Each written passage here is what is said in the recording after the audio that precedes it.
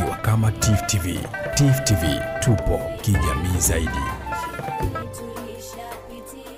Kongamano hili naamini litaleta ufahamu mkubwa na ari kwa vijana wa vyuo vikuu na vijana wengine katika kuyalinda na kuyatetea mapinduzi matukufu ya Zanzibar,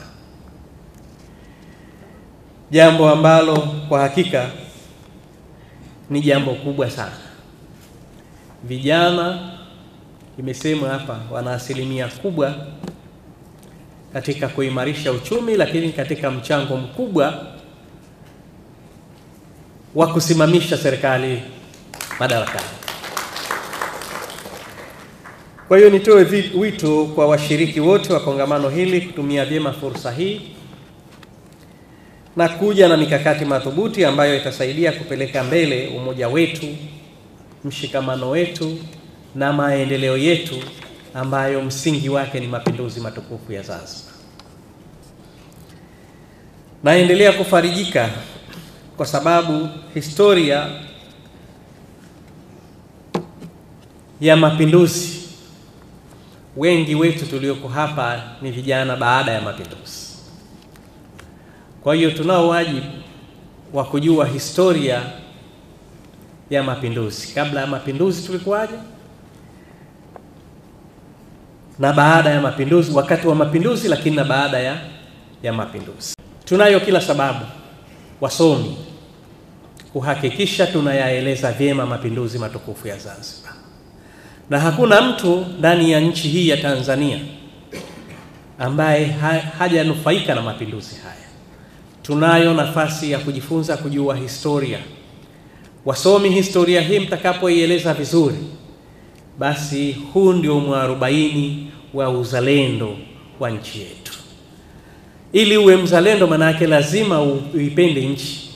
Uzalendo maana yake ni kupenda nchi yako, kuthamini nchi yako, kuitumikia nchi yako, pamoja na kuhakikisha unafuata misingi na maadili mazuri yanayoendana na mila, silka na utamaduni wa nchi husika.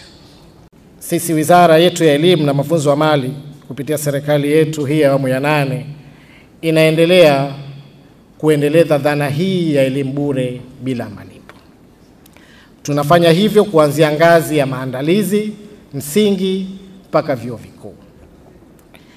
Kwa upande wa vyuo vikuu ambao hadhara hii ambayo tunaongea nayo, Mheshimiwa mgeni rasmi, tunaendelea kumshukuru Mheshimiwa Dr. Hussein Ali Hassan Mwinyi kwa maamuzi yake makubwa ambayo yanapelekea kwenda kuimarisha hasa katika sekta ya elimu na hasa katika sekta ya elimu hii ya vyuo vikuu. Mheshimiwa Rais ametuagiza kama wizara kwanza kuweza kufanya mabadiliko katika sheria ya bodi ya mikopo ya elimu ya juu, na lengo la mabadiliko hayo ili kuweza kutoa fursa kubwa kwa vijana wetu hasa wa vyuo vya kati, kwa maana wale wanafunzi wa diploma pamoja na certificate, tuone namna gani wataweza kunufaika na fedha zile za bodi ya mikopo ya elimu ya juu. Ukosefu wa fedha za tafiti yani research pa, na mafunzo kwa vitendo yani field practice kwa wanufaika wa mkopo wa elimu ya juu Zanzibar. Pili, kuzuiliwa kwa wanafunzi kutofanya mitihani au kutoingia vyuoni kwa kuchelewa kulipa ada. Tatu, kuku, tatu, kukosekana kwa ufanisi katika mifumo ya matokeo vioni, jambo ambalo husababisha, kwa, husababisha kubadilika kwa matokeo ya wanafunzi kwa baadhi ya vyuo.